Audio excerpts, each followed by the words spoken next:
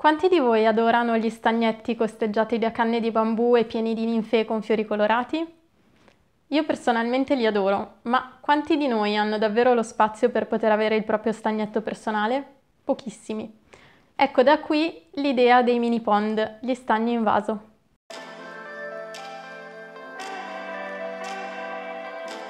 Ciao a tutti, mi chiamo Letizia e sono ingegnere e designer.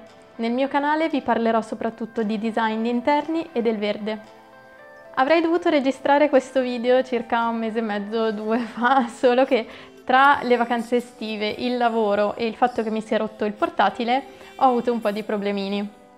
Nell'ultimo video vi avevo dato qualche consiglio su come creare il perfetto mini pond, quindi su come avviare un ecosistema senza doverlo continuamente andare a sistemare. C'è la mia gatta. E in questo video invece vi parlerò di come ho creato io il mio mini pond. Quindi vi farò vedere l'evoluzione degli ultimi quattro mesi che ha avuto il mio stagnetto, quali piante ho inserito, eh, quanto sono cresciute, quanto rapidamente si sono propagate e vi parlerò anche di qualche piccolo problemino che ho avuto.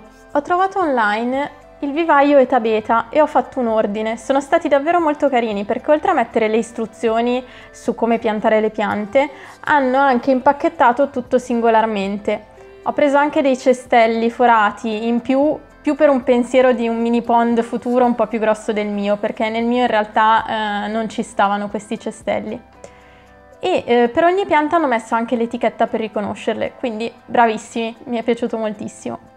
Allora, Mm, come ho creato il mio pond? Ho iniziato mettendo circa un paio di centimetri di substrato per uh, piante d'acquario e poi ho coperto tutto con della ghiaietta d'acquario. Io ho preso della ghiaia fine ma si possono prendere anche sassi più grossi. Ho preso anche qualche pianta da un ragazzo che ho trovato tramite Facebook. Su Marketplace infatti trovate un sacco di appassionati di piante che vendono o scambiano piantine sia eh, acquatiche che non. Allora, io ho preso questo mix. Eh, un po' di Pistia stratiotes eh, che come vi ho fatto vedere nell'altro video sono piante galleggianti molto carine, sono carine perché sembrano delle piccole rose eh, con eh, le foglie ehm, idrorepellenti pelosette e eh, queste sono ottime sia come piante ossigenanti che come ombreggianti. Ho preso anche qualche Salvinia natans che va bene sempre sia per ombreggiare che per ossigenare e anche questa ha le foglie che sono uh, un po' idrorepellenti. Mi sono fatta dare anche un po' di Lemna minor, che è una piantina galleggiante piccolissima, altamente infestante e che va molto bene però per eh, ombreggiare. Ecco invece le piante del vivaio Eta Beta. Allora, non potevo non provare a prendere una ninfea. Ho preso una ninfea pigmea rubra che fa i fiori eh, quasi rossi e eh, pigmea quindi è una ninfea nana che va bene anche in pond eh, molto piccoli con un diametro minimo anche di 40 cm quindi andava bene anche per il mio pond. Avrei dovuto inserirla in un cestello, ma siccome i cestelli non ci stavano nel mio vaso, l'ho eh, interrata e poi ho ricoperto di ghiaia per far rimanere eh, tutto ben ancorato. Quest'altra pianta, l'Hydrocaris morsus rane, è una pianta galleggiante con le foglie molto simili a una ninfea e è particolare perché fa dei fiorellini bianchi molto molto carini e sono riuscita a farla fiorire quest'anno. Ho preso anche l'Eleocaris acicularis, che è una piantina simile all'erbetta che va bene per ossigenare. Se avete visto l'altro video vi ricorderete anche che è importante avere delle piante per la fitodepurazione e le migliori sono le piante palustri, come questo Acorus calamus variegatus, che trovo bellissimo per queste foglie striate. Ed ecco il mio pond dopo soli 11 giorni. Avete visto com'era all'inizio, quindi già qui potete vedere quanto rapidamente si siano propagate le piante. All'inizio ho notato che c'erano tante foglioline mangiucchiate e non riuscivo assolutamente a capire che cosa fosse.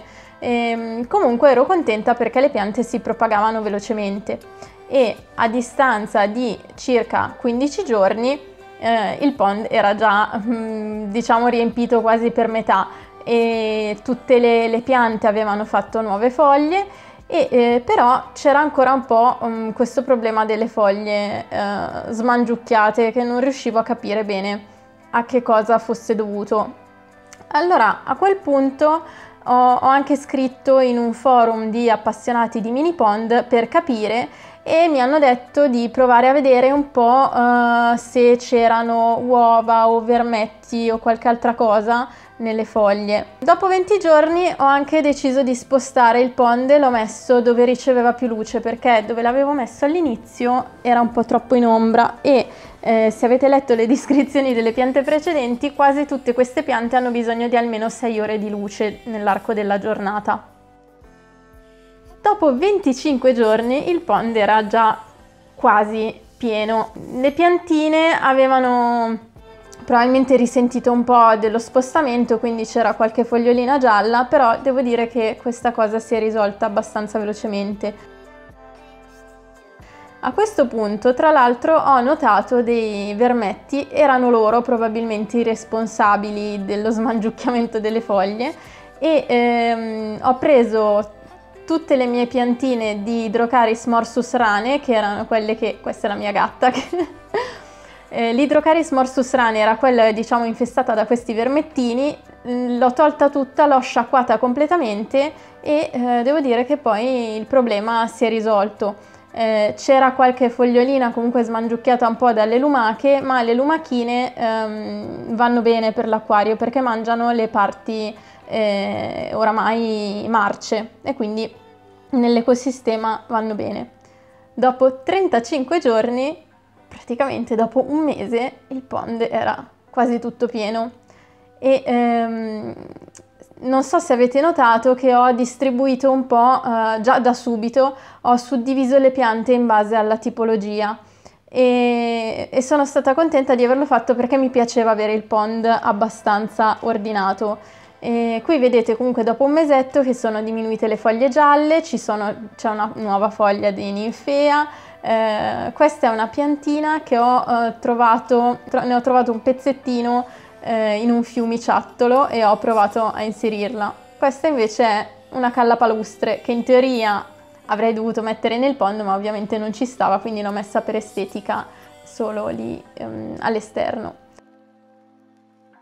E qui vedete la Salvinia natans che l'ho spostata rispetto al resto. Comunque Già qui si può vedere come le piante prevalenti siano la Pistia stratiotes e la Lemna minor che avevano a questo punto già praticamente invaso tutto.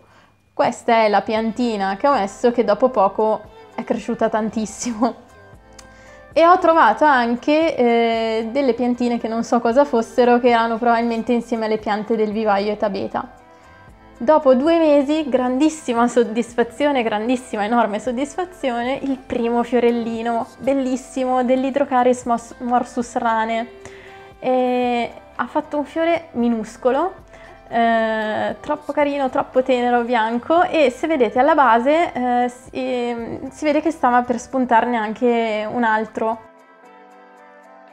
e questo invece era lo stato generale del, del laghetto, quindi con le pistie sempre più belle, sempre più grosse, e la Salvinia natians invece che è stata un po' inglobata da tutto il resto.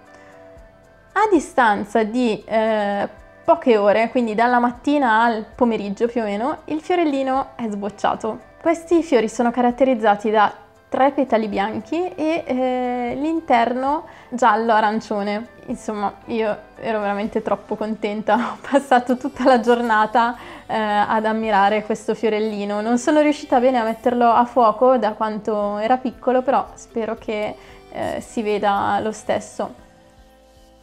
Il giorno dopo è sbocciato quel fiorellino che eh, avevo visto, quindi insomma è durato solo un giorno e ho notato che ce n'era anche un altro pronto a sbocciare e, e dopo qualche ora subito eh, sono, sono cresciuti, insomma come potete vedere la crescita di questi fiori è velocissima, la durata è un po' breve, eh, però insomma sono davvero davvero davvero molto belli. Eh, mi è un po' spiaciuto che la ninfea non abbia fatto nulla, ma devo dire che probabilmente è stata un po' troppo inglobata dal resto delle piante. Questa è la situazione dopo le vacanze estive. Eh, quel tubicino è dell'irrigazione perché ho dovuto chiaramente mettere eh, un sistema di irrigazione che aggiungesse anche acqua man mano altrimenti sarebbe evaporata tutta perché sono stata via per un mese un po' di piante le ho date via perché era veramente troppo pieno comunque potete vedere che eh, la pianta che ha prevalso è la pistia. Eh, sono cresciute tantissimo sia in numero che in dimensione, la ninfea è sopravvissuta, eh, le altre piante, la, la Salvinia natans um, sta così così e eh, invece l'Hydrocaris morsurs rane è andata sul fondo credo. Eh, quindi penso che non sia morta ma che ricomparirà poi eh, quando le temperature sono più alte in primavera. Spero che questo video vi sia piaciuto. Per qualsiasi dubbio o chiarimento, se volete farmi qualche domanda riguardo ai video passati o se c'è qualche argomento in particolare che vi piacerebbe che trattassi, scrivetemi pure. Se vi piacciono i miei video iscrivetevi al canale e seguitemi. Ciao a tutti!